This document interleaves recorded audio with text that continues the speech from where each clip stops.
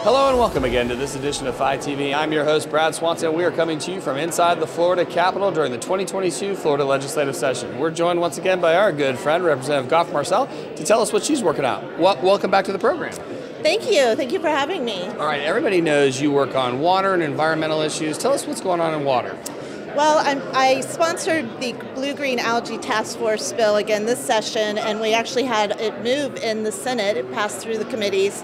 It unfortunately did not move in the House, so I'm going to keep working on that. But we're, we're trying to get clean water. That's that's what I'm working on. I mean, it's it's Florida's one of our number one resources. People come to visit. We need it for our agriculture, so we're going to keep plugging away. Will you come back on and tell us where some of those issues keep standing? I absolutely will. And actually, the number one risk to Florida right now is contaminated water. So we really need to be working on this. Yeah. All right. So so what's next? What else are you working on? I had a ghost bill that I sponsored this session. The ghost candidate the ghost bill, right? candidate bill. Right. Yes, yes, because I come from a county where we actually had a ghost candidate, and this bill would trace where the money was coming from. So I'm hoping to sponsor that one again and um, keep that one moving. It, it didn't move this past session, but hopefully.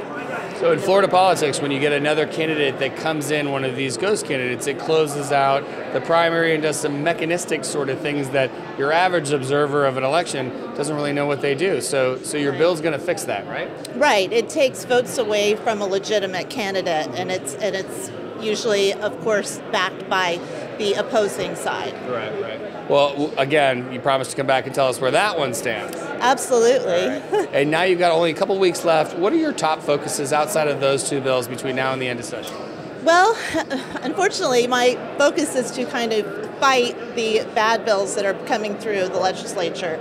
But um, someone's got, we, we are fighting as hard as we can to stop those bills from passing. Well, we know no one's on the front lines more than you, fighting for what you believe in, and we appreciate you stopping by FIT TV to tell us what you're working on and what you're going to be fighting for. Thank you. Thank you again for having me.